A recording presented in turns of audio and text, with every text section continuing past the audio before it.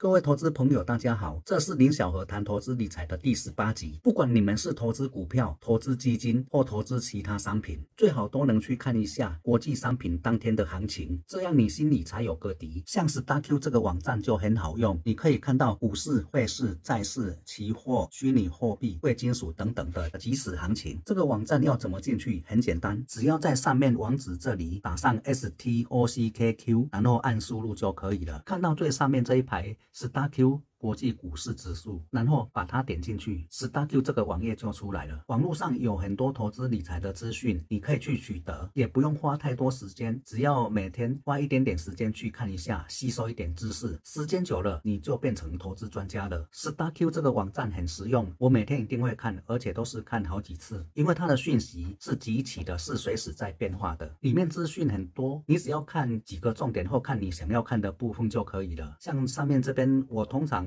左边这里会看纽西兰、澳洲股市，还有日经指数，下面就是韩国、台湾加权，还有上证指数，下面是香港，还有印度股市。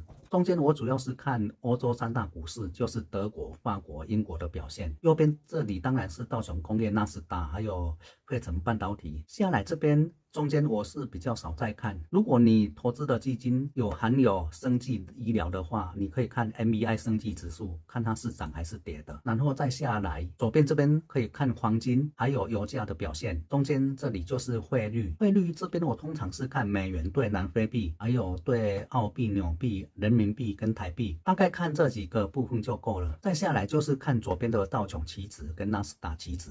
这边是白天跟晚上都有在交易的，然后中间这里就是比特币，哇，跌蛮多的。四大 Q 我看了几个重点，大概就是这样。你们最好养成每天都进去看一下的习惯，对你们的投资理财一定会有帮助的。今天这一集就谈到这里，下集再见。